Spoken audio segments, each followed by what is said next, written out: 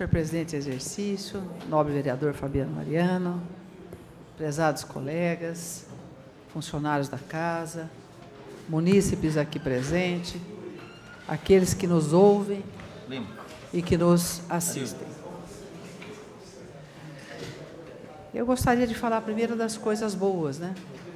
Porque normalmente parece que é só tragédia, é só coisa ruim a vida, mas tem coisas boas. E as coisas boas é, no mundo de hoje, elas são tão pequenas que elas têm que ser exaltadas e serem, serem valorizadas. Fica aqui o nosso cumprimento ao pastor Aguinaldo por sua ascensão dentro da classe dos pastores evangélicos, os nossos cumprimentos. As minhas desculpas de não estar presente, mas estava fora da cidade.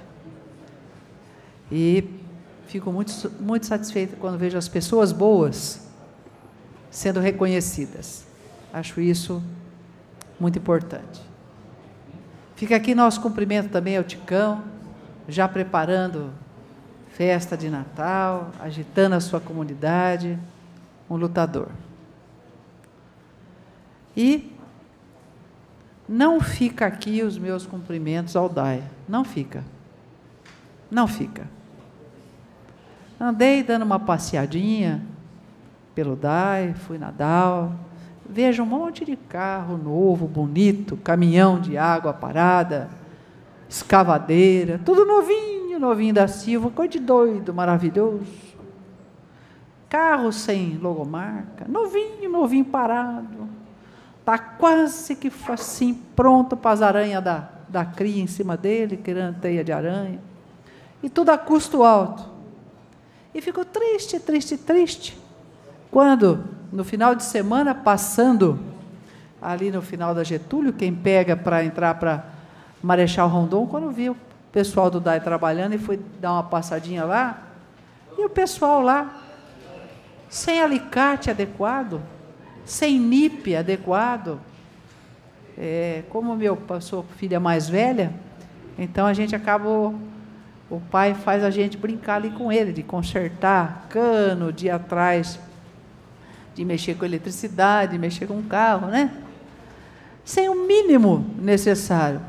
Um carrinho a menos que tivesse comprado era muito material bom que, se, que os funcionários teriam para que não ficasse depois dizendo que conserta e quebra. Consertou com material de terceira categoria ou não deu condições para o funcionário, é isso aí mesmo. E depois né, tudo é culpa do funcionário, né? Meio que dizem que a corda arrebenta para o lado mais fraco. Um vexame, um vexame. O problema não está no lado mais fraco, o problema está no lado mais forte, que de forma alguma fornece condições para que os funcionários trabalhem. Até parece que estão querendo que aconteça alguma coisa. Mas não vou deixar que meus devaneios caminhem por aqui, porque não gostaria de, de acreditar que querem sucatear para depois resolver. Vexatório, se for isso. Vexatório. Agora eu tenho que falar de algo que todos os meus colegas falaram, que é esse jogo, sabe? De luz e de penumbra. Isso é um joguinho muito feio. Isso é um jogo indecente. Né? Que se debruça sobre toda a classe de agentes políticos da nossa cidade. Quer tenham se citado os nomes ou não se citados nomes, isso não é para acontecer. Isso não é para acontecer. Sabe por quê? Porque tem algumas palavras que ultimamente têm norteado o pensamento da população com relação à classe política. E não são palavras agradáveis, tipo gorjeta, jeitinho, caixinha, ajudinha, lubrificar, taxa de urgência, por fora, esquema, né? Rolo, molhar a mão, mamata, negociata, propina, falcatroa, caixa 2, são palavras que vêm marcando a classe política como um todo. E não é como um todo não é como um todo. Então, também quando existe seriedade, não há denuncismo. Denuncismo é uma denúncia falsa que se custa provar. Mas existe denúncia. Denúncia com o fato materializado.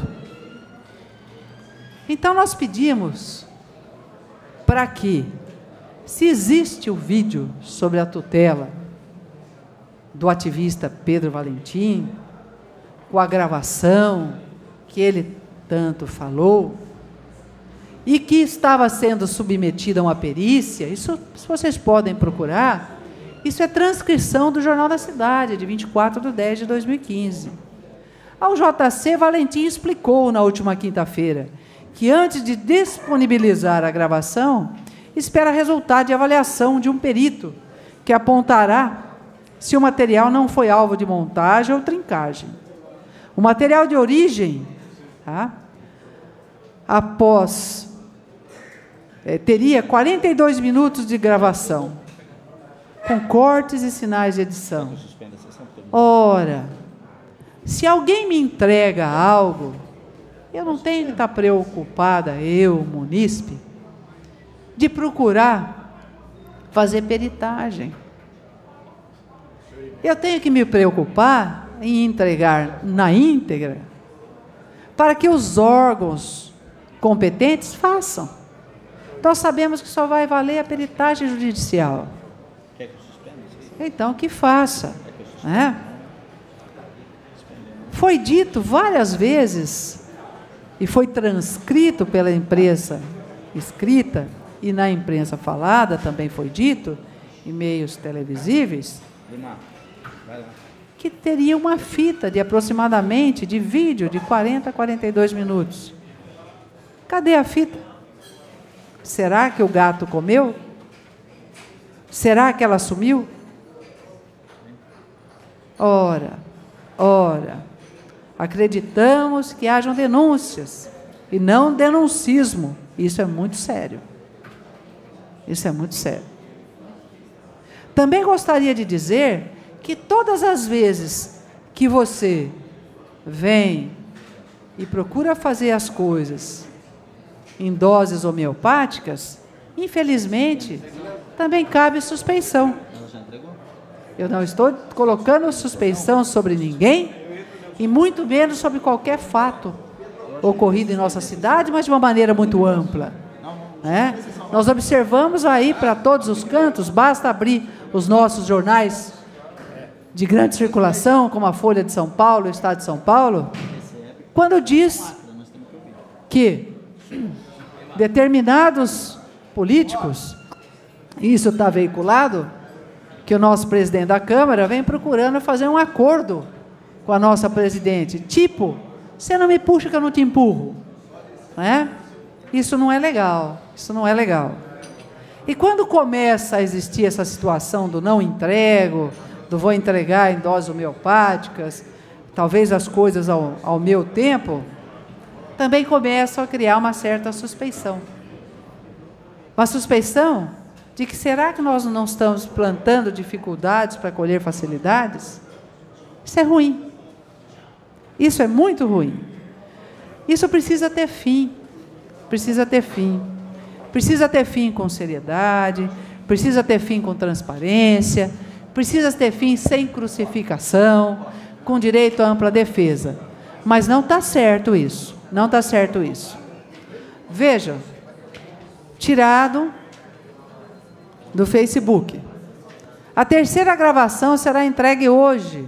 Será entregue nesta segunda-feira. É? Eu espero que esteja sendo entregue. Setores sociais e políticos tentam desacreditar e desqualificar as denúncias de supostas propinas no meio político de Bauru, que cujas fitas de áudio, mas cadê as de vídeo? Cadê as de vídeo que tanto foram veiculadas? Já foram entregues por nossa autoria no Ministério Público, Polícia Civil e Câmara Municipal, que já estão sendo degravadas.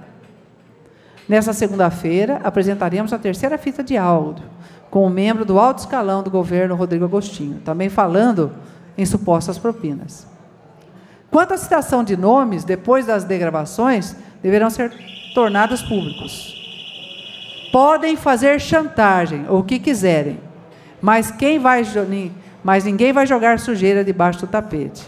E esse caso ainda vai dar muito o que falar. Quem quer fazer com que a coisa seja séria, entrega tudo. Entrega tudo. Muito ruim e parece que a pessoa fica se utilizando disso como um mecanismo de visibilidade. Se eu recebo algo apócrifo, entrego na hora. Senhor Ministério Público, recebi, não sei de onde veio, mas está aqui, ó.